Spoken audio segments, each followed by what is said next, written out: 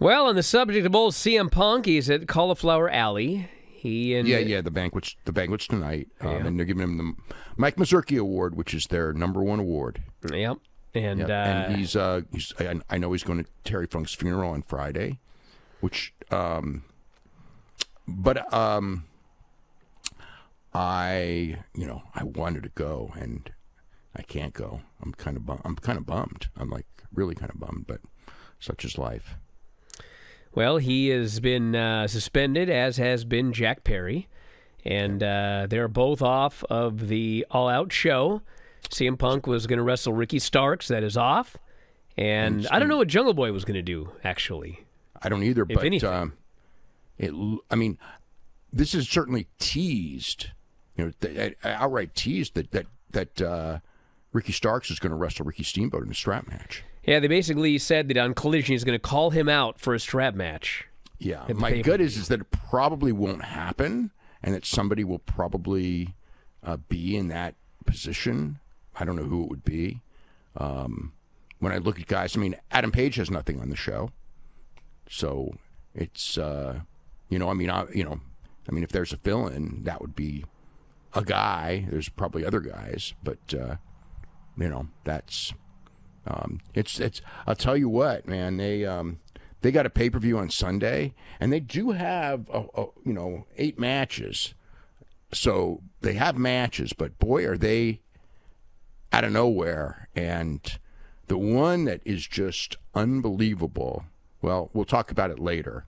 But it's the tag, the ROH tag team title. match. Well, you know, I will say this. Normally, we wait to do spoilers till the end of the show, but uh, in this instance, I'll just tell you all right now. This is going to be spoilers for Rampage because we have to talk about this card, and the show is Sunday, and so um, that's your warning. So here we go. This is, Okay, so so well, MJ, this is the lineup, okay? MJF and Adam Cole are defending the Ring of Honor tag team titles against John Silver and Alex Reynolds. yes. I have no w- words for that. Now, you know, they they may very well have a good match, but my God, you know, Max in a pay per view against Alex Reynolds and John Silver. Yes. I mean, it's just it blows my mind. That's all I'll say. Well, here is the. Uh, let's look at the whole lineup here, and then we can talk about it as a whole. We got uh, Luchasaurus Darby Allin for the TNT title. We knew about that. Miro and Powerhouse Hobbs. Yeah, which they did. The, they you know they've been they they've been building that up for weeks. They even did an angle in uh, in London for them. Yeah, Chris- um, um, which was b- before the show, which is which is kind of funny. You're doing a pay per view angle, um, you know, and, and you know um, before like even the pre show starts, but you know, and no one in the United States is seeing it, seeing the angle, but they did. You know, I guess the European fans saw it. There's probably more. You know, there were a lot of viewers in that. Uh, audience, but my God, you know. But they'll they'll I'm sure that they'll do something with that on Saturday, Got Kris Statlander versus Ruby Soho for the TBS title.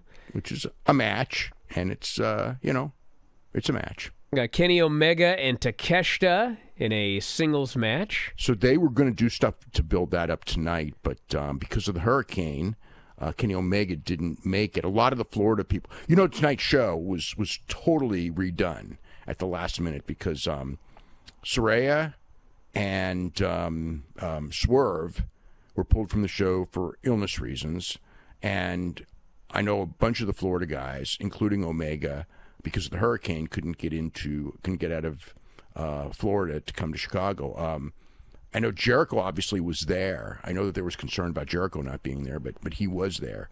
So um, that was one of the reasons why the show, um, you know, it, it seemed thrown together because it was thrown together. We got the uh, yeah Omega Takeshita match. We got uh, Bullet Club Gold, Austin, Colton, Jay White, and Juice against Cash, Dax, and the Young Bucks. I mean, they did. Which, if you did- remember at the pay per view, uh, the Bucks were offered a handshake and they walked out on him. And so they, they- shot an angle on the show where they apologized. FTR basically said, "You know, why didn't you shake our hands?" And the answer was, "Ah, heat of the moment." that that was it. And now they're going to team up together and uh, face Bullet Club Gold. Well, I mean, action wise, that should be a good match. But again, like, you know, that's to me, that's like a TV match more than a pay per view match. Um, You know, you got the the tag champs. You know, I mean, it'd be better on the pay per view to me to have like you know, do a do a three way. You know, I mean, you could do FTR, Bucks, and and Jay and Juice. Um, you know, because FTR and the Bucks, you know, they, um, I mean, you could do that, or and even a four way if you put the Gunns in. Although that waters the match down, and there'd be more interest in that than than this eight man tag. I know the uniqueness of FTR and the Bucks teaming up is there, and it's a bridge to go somewhere in the sense that they could probably not get along and and do another match, you know, on another pay per view, and and, and that, that makes sense. Um, but you know, to me, that should be on. If you're going to do it that way, that should be on TV. The pay per view should have a, a, a tag title match, especially this pay per view. You know, when you're trying to get people to buy, you know, a second pay per view um, a week after the biggest show in, in company history. Um, you know, not having the tag team titles on the line and and having you know the Young Bucks in this kind of a match as well. It's it's not you know. I'm just I'm just surprised. Then we've got uh, Samoa Joe, Shane Taylor, and I mean, for those might of you for those of you unaware, by the way, to explain this, they did do a multi-week tournament on Ring of Honor on Honor Club, where uh, Shane Taylor, Serpentico, Daniels, J.D. Drake, Tony Nese, Cheeseburger, Gravity, and Anthony Henry were all in a tournament. Shane Taylor beat Gravity in the finals. And that's why he is in storyline getting the shot against Samoa Joe. Now, if you have not been watching Ring of Honor, Honor Club Television, you would have no idea of any of this. It just And came out of nowhere and- here and- tonight. and, and they didn't and they didn't explain it. And um, I mean, they'll probably have a good match, but yeah, to most people, Shane Taylor hasn't even been on television. They, you know, so it's like it's a it's a cold match for a a pay per view. Then we got uh, Eddie Kingston and Shibata versus Claudio and Wheeler, a tag team Which, match. which again, that that should, that should that should be a good match. this feels like a a uh, a glorified edition of Dynamite. Is what Actually, it feels like a ring, feels actually it feels like a Ring of Honor pay per view. Can do a Ring of Honor pay per view. Now, here's the thing about But the pay but, per but view. but Claudio's not even defending the title, so I can't even say that. the world title, the uh, ROH world title, none of these are being defended on the show. The Ring of Honor tag team The the, ta- the tag team title is, But the the big question here is, what is the main event? And I think there are two options, and that Well, is gonna be- either Omega and Takeshita or Orange Cassidy and Jon Moxley. And given that Omega and Takeshita has no title on the line, and especially after you watch the last ten minutes of the show tonight, I think that Moxley and Orange Cassidy should headline this pay per view.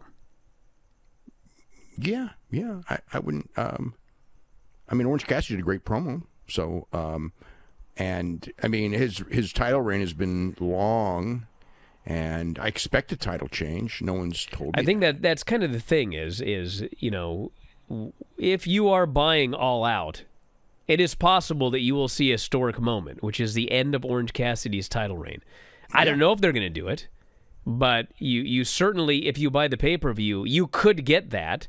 So I think that that is as big, big a hook or a bigger hook than almost anything else on the show. To be honest, Yeah, but I mean, like you said, like the only two hooks are that and Omega and Takeshita. That's pretty much those it. are the two main event. Because listen, I, I just don't think you can do Well- Dark Order against MJF and Adam Cole as the main event of the show. No, no, and and but but Stark, you know, if if they're going to throw somebody in there with Starks, but it's a cold match, and I guess using Steamboat in some form to get there. I guess we'll just wait and see Saturday night, like how they put all that together, because um, I'm still not sure who you could put in there where it would be a bigger match than Moxley and Cassidy or if you Takeshita and Omega. If you do, if you do a, a great storyline and angle, I mean, I, I it wouldn't be bigger than Moxley and um, Cassidy. well, And, that yeah, should main be- event then. That's the point.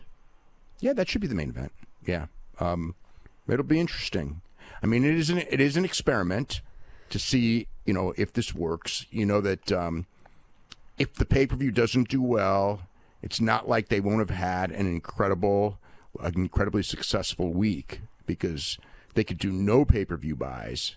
Um, and they're still going to do a million dollar gate or close to a million dollar gate. Um, you know, and you know, obviously the uh, you know the Wembley speaks for itself across the board.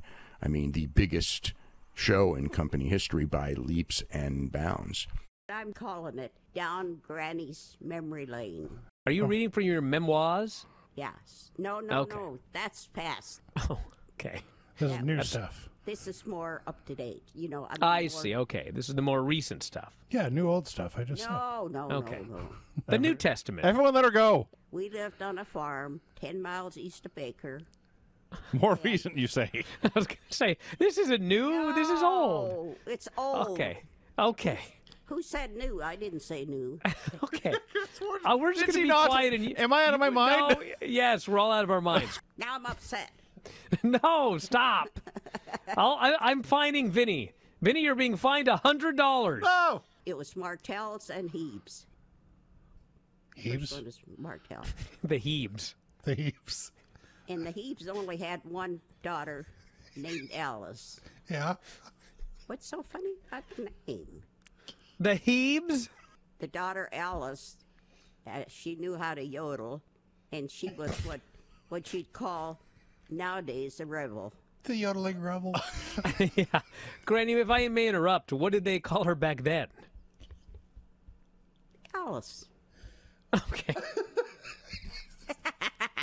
you thought I wasn't going to like this segment, Granny? This is the best segment we've had on the show in years. Hey guys, did you love this clip? If so, you should join our channel. Just hit the join button, and you'll have full access to every single show that we do Wrestling Observer Live, Wrestling Observer Radio, The Bryan and Vinny Show, all of them in full HD, full length, plus archives of all of your favorite shows. Click join today and don't miss out.